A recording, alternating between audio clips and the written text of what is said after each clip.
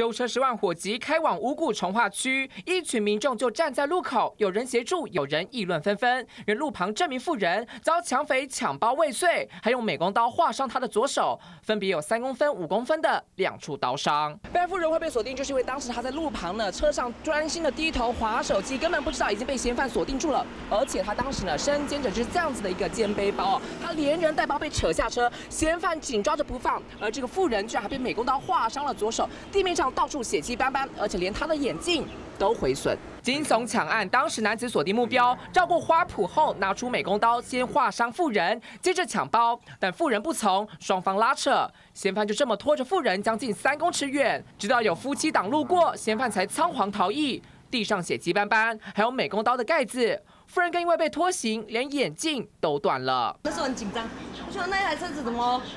冲好快，而且他有点失控，我们都搞不清楚啊。只是后来才发现说，怎么那么多警察？我以为是那种什么，哎，肇事逃逸。附近目击民众说，当时男子开车仓皇逃逸，险些失控，以为是肇事逃逸，哪里晓得竟然是可怕的抢案。